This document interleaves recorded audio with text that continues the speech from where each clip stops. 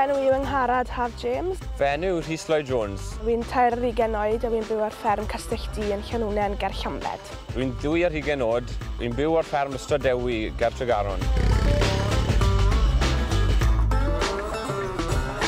Wnaethon ni gyfarfod yng Ngholeg Lliair.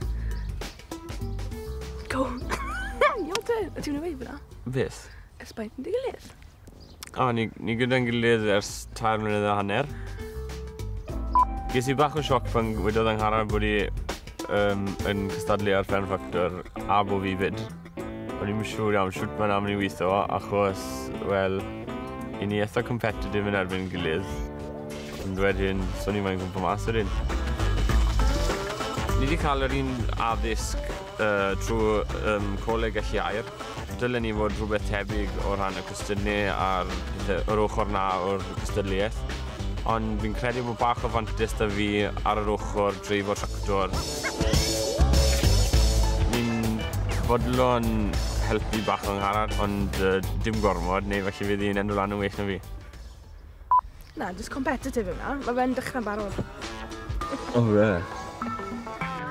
Mae angharad y fi wedi bod yn cystadlu'n erbyn yn gilydd yn cystadlaethau um, drwy mudiad y ffenwyr i fi i fi'n mynd i glwb Ponsian a mae fe yn Llanddewi Brefi.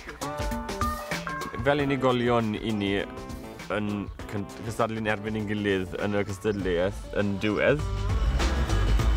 Mae'n mynd cyn dechrau yma.